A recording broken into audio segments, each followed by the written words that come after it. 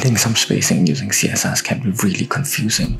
There's the padding, the margin, or just setting the element size manually. If you have encountered the same problem before, don't worry, in this video I'll go through what exactly the CSS box model is, as well as how to use it with actual real-world examples, so you know when and where to use what.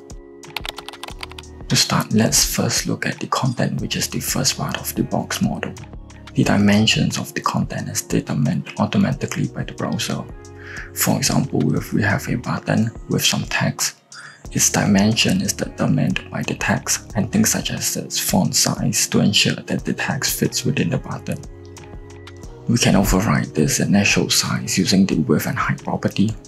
For example, we can increase its width and this will increase the initial width of the content within our box model. The next part of the box model is the padding. Padding allows us to add white space around the content.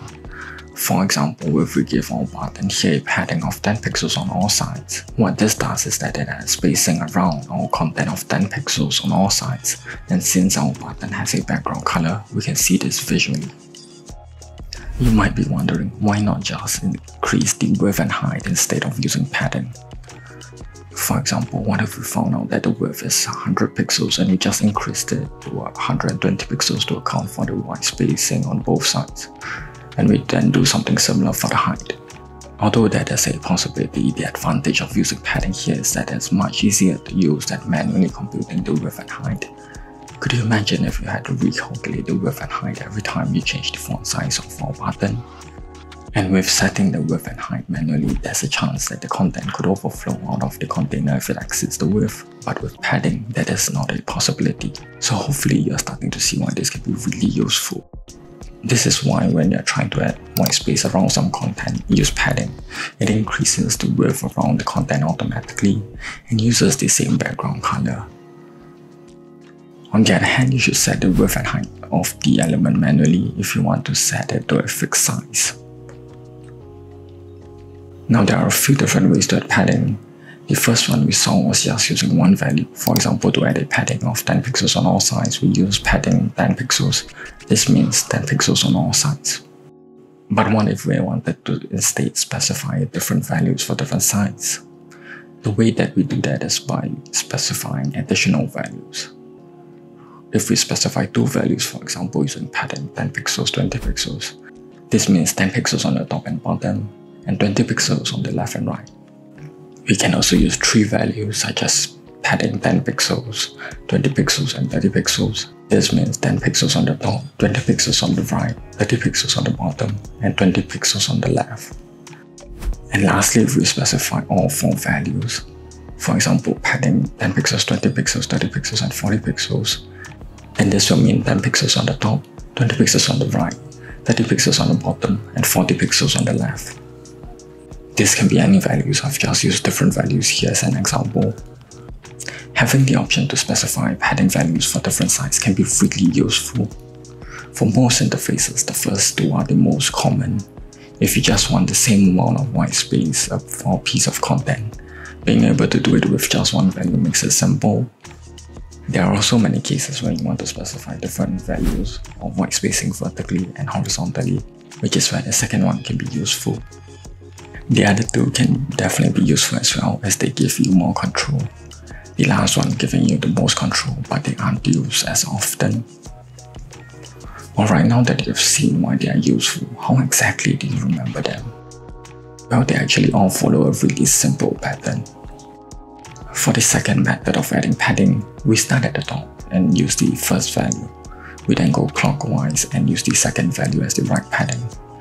Next we go clockwise once more, but this time we have no more values to use, so we use the value opposite of it and use that value. We then go clockwise again, and since we have no more values as well, we use the value opposite of it. For the third method of adding padding, this works just the same. We start at the top and use the first value. Going clockwise, we use the second value as the right padding, and the same occurs for the bottom padding. When we run out of values to use for the left padding, we then use the same padding as the right padding since it is opposite of it. This idea also applies to the last method, only that no values are missing. So in general, just go clockwise and use the values as needed. But if any values are missing, just use the value of the side opposite of it. Let's take a look at our first example. Say we wanted to create a simple block layout and we'll focus on designing it for desktops, which requires adding some white space, such as within the navigation bar and within the buttons. To start, I've already created the starter code and added some initial styling so that we can focus on adding white space using the padding and later on using other parts of the box model. You can follow along by using this CodePen, which I will link in the description below. It allows you to easily follow and code along in your browser. Alternatively, you can also find the starter code and images needed within this GitHub link, which I also include. Let's first add some white space around our navigation bar.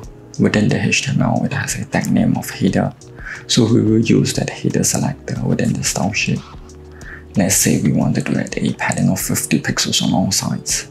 Can you remember how we specify the same padding on all sides? It's by using padding 50 pixels. Besides that, the main content of our layout could also use some white space. For this, since all of the article's content is within the main tag within the HTML, I'll use the head selector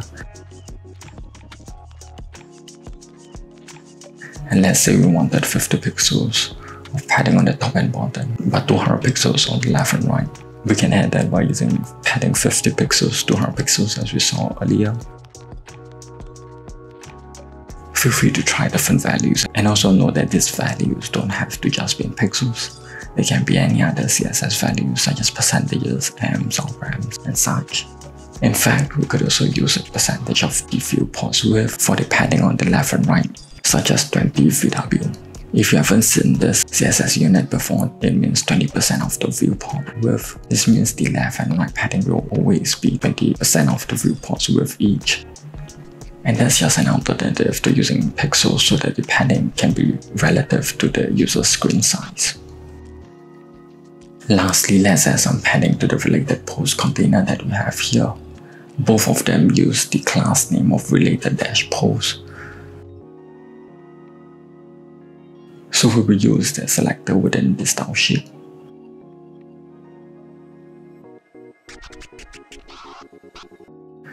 Try pausing and adding the padding you believe is most suitable for this part.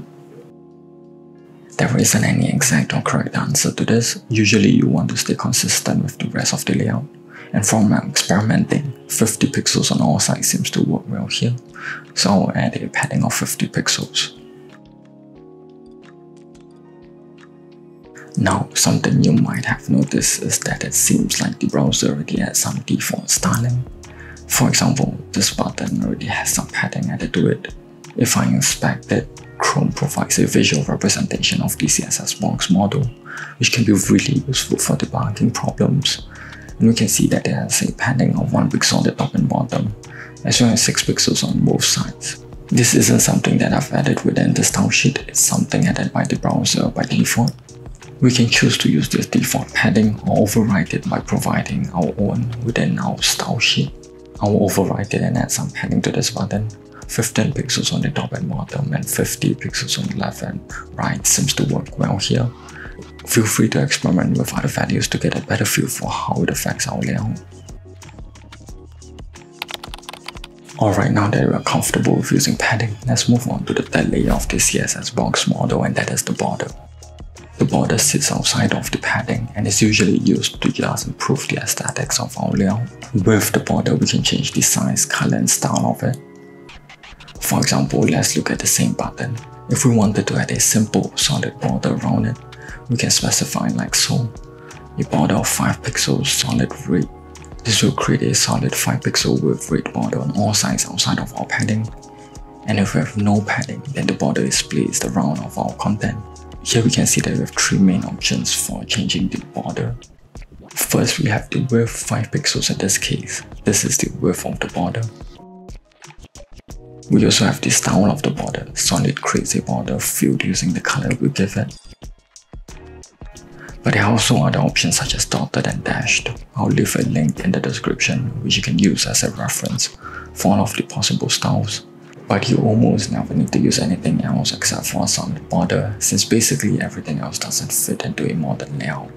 The last value we have here is the color of the border. This can be any value for specifying a color such as a hex or RGB color code.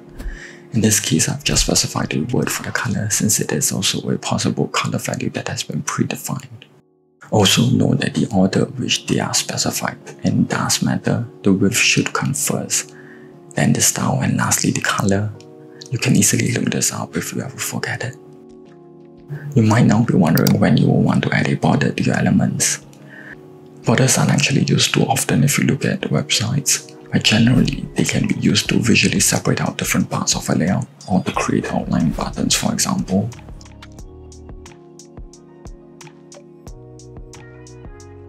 Let's implement some of them within our blog article layout. Right now, our related posts container looks really bland and boring. One way to quickly make it stand out to the user is to add a simple border to one of the sides. For example, within the selector for the related post container, I will add a red colored border only to the left side. We can add a border to just one side instead of all sides, like so, using border dash left. I'll make it 10 pixels with a solid style and I'll use the same red color as the rest of the layout, which I'll copy the cut code from. If we want to add the border to just one side, there is also the possibility to add it just to the right, top or bottom.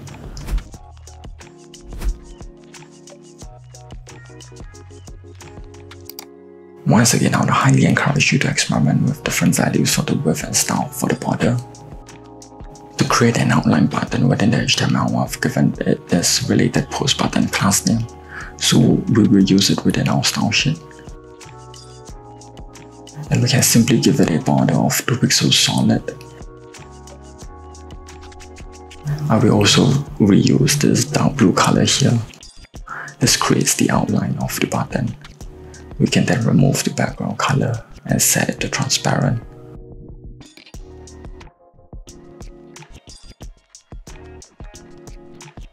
I will also change the color of the text to the same dark blue color. And now we have this outline button. So there's another use case of using borders. The last thing I'll mention here about borders is the border radius property. This is used to create rounded corners within elements. We can do this by specifying border dash radius 30 pixels for example, and this will make all elements corner rounded by 30 pixels on all four corners. The border radius property can take in any CSS value, but usually you use either percentages or pixels. If it is specified as a percentage, for example 20%, then this will give us a border radius of 20% of the width and height respectively.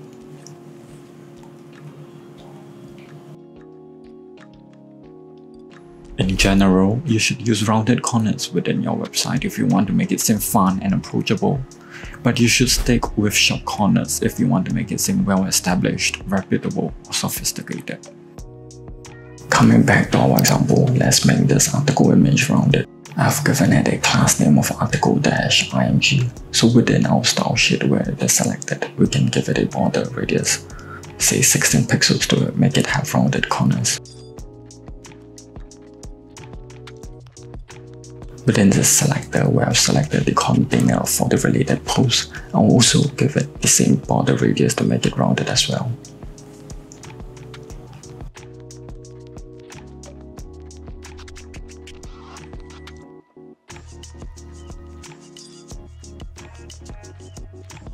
I will also give the image within the related post container the same border radius, which you can do within the selector. Once again, I would highly encourage you to try different values. And now with the rounded corners added, this helps make our layout looks more friendly and approachable to the user.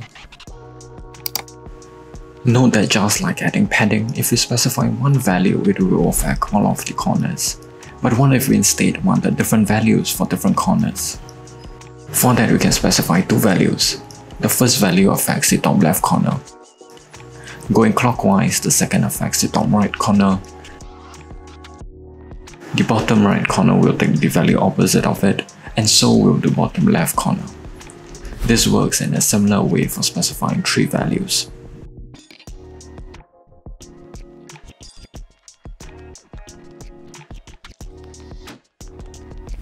And we can specify all four values separately as well.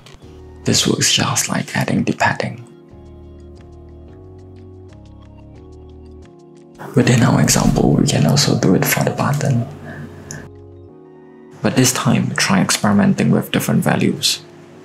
For example, we can specify 16 pixels for the top left and bottom right corner, and 32 pixels for the top right and bottom left corner.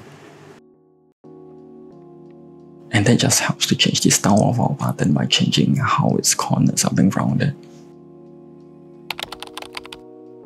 Previously, we saw that within the box model, the padding is used to add spacing within an element. But what if instead we wanted to add spacing outside of an element? For that, we can use the margin property. This allows us to add spacing around an element. For example, if we specify the margin of 10 pixels to both sides of our articles here, they will have 10 pixels of spacing outside of them on all sides. Don't worry if this is slightly confusing, we will take a look at an example of how we can use margin in a moment. Although the padding and margin are pretty similar and can sometimes be interchangeable, you mainly want to stick with using margin to add spacing outside an element, as it will not extend the background color. Padding on the other hand is used for adding spacing within an element, and it will extend the background color. Once again, like with adding border radius or padding, we can specify multiple values for the margin. If we specify one value, it is used as the margin around the entire element on all four sides. If we specify two values, the first value is used as the margin on the top, and the second is used as the margin on the right. Going clockwise, the third has no value, so it uses the value opposite of it, and same goes for the fourth. If we specify three values, the first value is used as the top margin, the second has the margin on the right, and the third has the margin on the bottom. Going clockwise, the next side doesn't have any value, so it uses the one opposite of it as well. For all four values, each side's margin can be individually specified.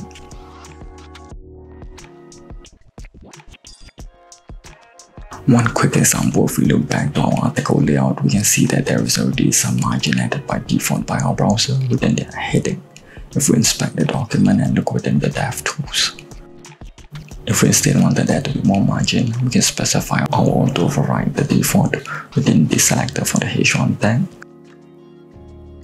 For example, margin of 60 pixels and 0 pixels.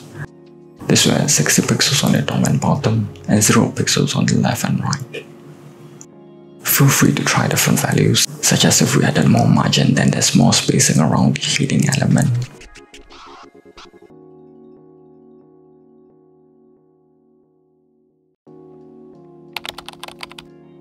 Just to quickly recap, the first part of the CSS box model is the content. Its width and height can be set by us, or if not, it will be set automatically based on the content. The second is the padding. This is used to set the spacing within an element, usually used to add white space.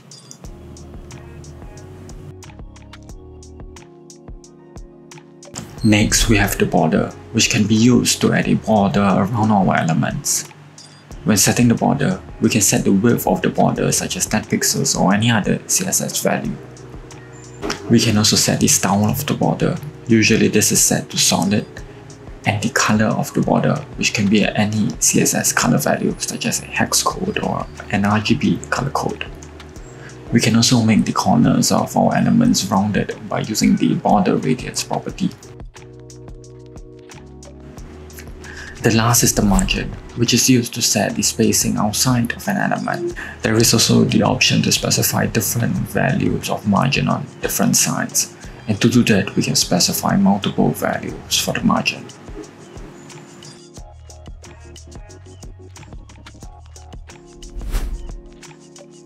So whenever you're having trouble figuring out which property to use to add spacing with CSS, imagine all of the elements consisting of their own individual box models and think back to what each property within the box model does with the help of this video to better understand which CSS property you should use. Next, let's look at some common problems you come across when working with the CSS box model.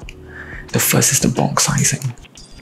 For that, let's look at this newsletter subscription component which I've already done most of the styling for. I've given it a width of 80 view width, so we will take out exactly 80% of the entire viewport's width. Now if we wanted to add some padding within the element, for example 50 pixels on the top and bottom, and 100 pixels on the left and right, we expect that this container will still take out the width that I've given it, which is exactly 80% of the viewport width here. But what actually happens when we add padding here is that the padding is added on top of that 80%. So container's width is now more than 80% of the viewport's width. This may not be obvious, but if I added more padding to the left and right side, such as if I added 400 pixels instead of the 100 pixels, then we can clearly see that the newsletter element here is more than 80% of the viewport's width. I'll change it back to 100 pixels. Now this wasn't an issue with the other elements we saw since we didn't give them a specific width, but it is now since we have given it a fixed width, which is something that you may sometimes need to do if you want to set a fixed size for your elements. So the problem that we have here is that by default the actual width of an element is going to be the width we have specified plus any padding, border or margin we given. They will all be added to the actual width. Usually this behavior one we want. If we specify a width of 400 pixels for example, we expect that the total width will always be 400 pixels. This can cause many unexpected problems and can cause your elements to overflow if you don't take this into consideration. The way that we avoid this is by changing the element's box sizing property. The default value of the box sizing property is content box for all of the elements, which as we saw calculates its total width by the width that it is given, plus the width of any padding, border or margin if there are any. To fix this, we can change the box sizing property to be border box. Using border box instead, the element's actual width will always be the width we specify it to be, even if we add padding or borders to it it will always be accounted for in the actual width. So the actual element's width will always be the width we have given it. Coming back to our example, if we change the box sizing property within our newsletter container element here, we can see that now even if we give it a large size for the padding, it will always use the same width of 80% of the viewport's width that we've given it and the total width will always account for any extra padding or border that we have given. Do note that if we give it a margin, it will not be included in the element's total width though. If we give it a margin, it will be added to that element's actual width.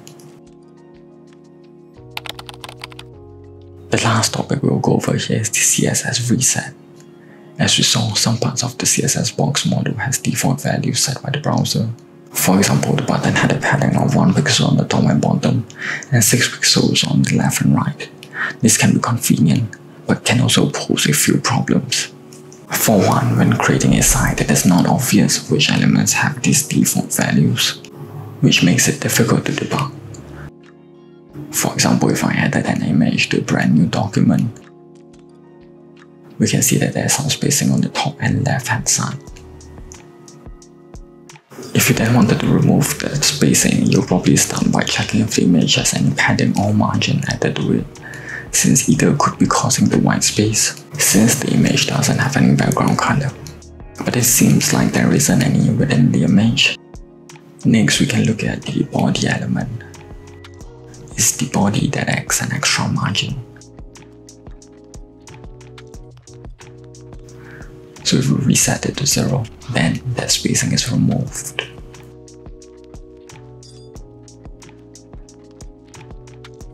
This might seem like a small problem, but imagine building a larger site where there are a multitude of elements affecting each other.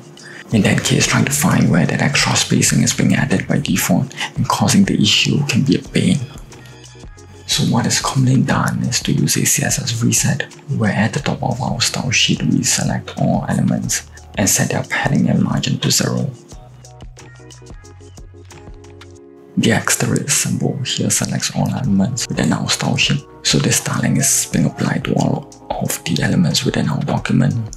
And if we then add any padding or margin later on, then they will override this default value of 0 that we've given it. Another reason for using the CSS reset is that on older browsers the default values can be different, which is why setting it all to 0 and then adding the margin and padding as we need later on is preferred. That's why it's called the CSS reset because it resets everything to a value initially and we then override it as needed instead of relying on the browser to give us that default and also so that we do not run into any unexpected problems when dealing with the spacing of our elements. Lastly, since we usually also want the box sizing to be set to border box instead of content box which is the default, we also typically see that when added to the CSS reset, so that the box sizing is automatically set to the border box for all of the elements, and we do not have to set them manually for the elements when we need them. There are other forms of CSS reset that affect other properties. I'll link a resource in the description below. But for the most part, especially for small and medium-sized projects, using this simple CSS reset at the top of your style sheet every time will save you from having a headache. Besides that, that is all for this video. This video took a long time to create. If you have found it useful or helpful, you'll probably also be interested in this video about Flexbox, which will make it much easier to create layouts with CSS. Please also consider liking and subscribing to my channel for more of such content.